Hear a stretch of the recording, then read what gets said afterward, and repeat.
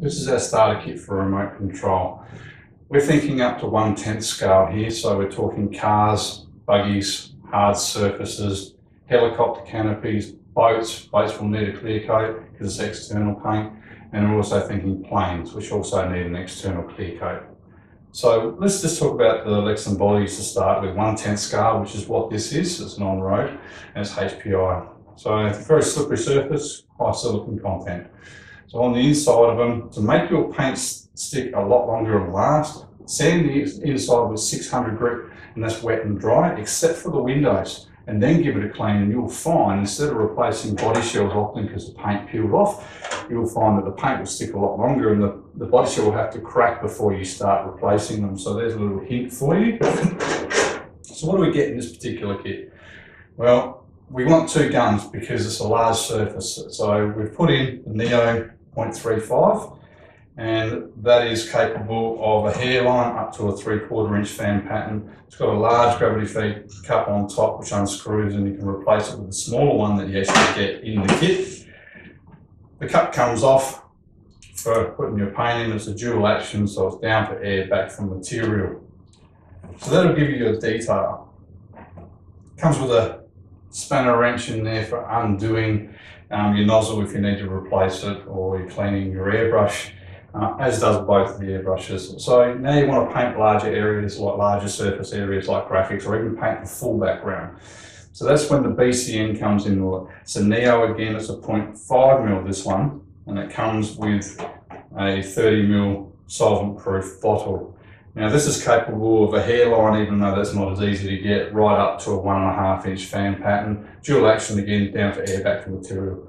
Keep this bottle and put airbrush cleaner in it. We'll explain why in a little bit in a minute. But that is your two airbrushes. So we've run this off this compressor and we've got 40 PSI continuous with both these airbrushes. You can get it to drop down a little bit lower, 30 PSI with a continuous running. And you can run it down as low as 10 PSI, 5 PSI, whatever your requirements are. But 40 PSI with both of these were the maximum what we got. So as far as the compressor is concerned, it's a SmartJet Pro silent jet compressor, oilless piston, no maintenance, quiet, good for inside use or in your shed. Um, so what? It's a nice compact unit with a hard case on it. It's a 1 8 horsepower. It's capable of 18 litres of air per minute and it weighs just 5.6 kilos, so it's quite light. It's got a carry handle on top and it's got an on-off switch handle on top. It's got one airbrush holder and that's on top of the case too. So with this unit, the PSI gauge is on top and there is a knob there. That is your adjustment knob for setting the PSI to the pressure which you want the airbrush to be running at. On this end of it, it's got a moisture trap and it's got a moisture release valve underneath for any moisture that may get into that trap. There is on the end of there a quarter inch male BSP and that takes your hose. So the female BSP goes onto that particular fitting and you've got a three metre braided hose. Now warranties, the compressor and the airbrushes. It's a one year Australian wide warranty with airbrushes, like I've said all the time, if you drop it, if you do a needle or nozzle, scratch the surface and, and kink a needle. If you do an O-ring from soaking too long, if you soak it lying down, you will do damage to the valve. If you leave paint in it and don't clean it out properly, anything that you cause the problem with the airbrush is not covered by warranty. So what else have we put in here? We've put in two pistol grip filters because you've got two airbrushes. So that goes directly underneath the airbrush and that is the last line of defense for getting moisture out of the lead. Now the actual hose will get a couple of drops here and there of the moisture in it because heat, humidity, they cause condensation which causes moisture and gets into the hose and it will get up into your airbrush. So that'll actually stop it from getting in there and that's got a release valve as such as a proper moisture trap does. Two airbrushes, so we put in a disconnect set. Now with the disconnect set, the male goes directly to the moisture filter and the female goes up onto the hose, which allows you to now disconnect your hose for whenever you want to release your airbrush and maybe even swap airbrushes. So we've also put in an extra male. The extra male goes onto your other airbrush. So you've now got two disconnect situations where you can swap your airbrushes on the fly or disconnect them for whatever purposes you need. So what else? Well, you need to clean it out. So we've got the cleaning station for my water glass jar, undo it to clean the jar out afterwards.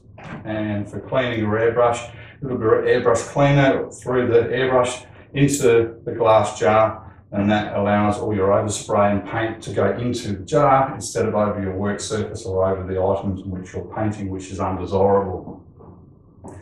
So now we get onto the paint side of it. And with the paints, you're going to need to reduce the paints. We reduce by around about 20, 25% with high performance reducer. For that purpose, we put in a 240 mil of that.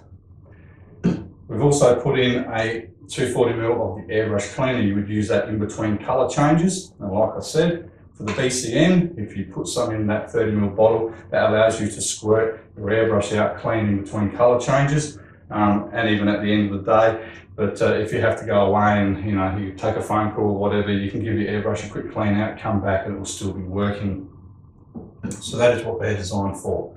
So as far as the paints are concerned, well, we've put in the Wicked Primary Set 1. You get five base colours. After two coats, you'll probably get saturation or roundabout saturation, so they're opaques, and you get a 60 ml of reducer. So we'll talk about that one a little bit in a minute.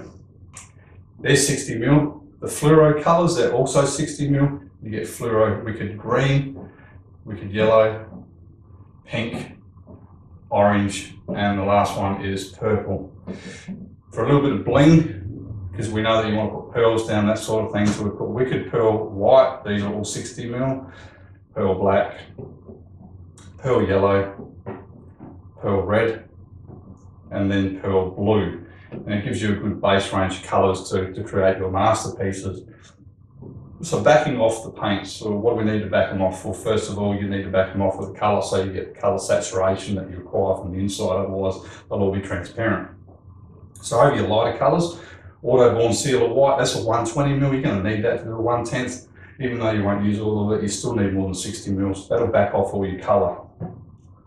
On the darker colours, if you're using dark colors, you can use the seal of black, and that's 120 mil. You look in the sealers on the website, Auto-Borne sealers, there's another 11 colors, which allows you to pick colors which go beneath other colors. So if you were doing just a red, you would pick Auto-Borne Sealer Red and you could back it off with that, and that will give you a color that will be nice and seamless.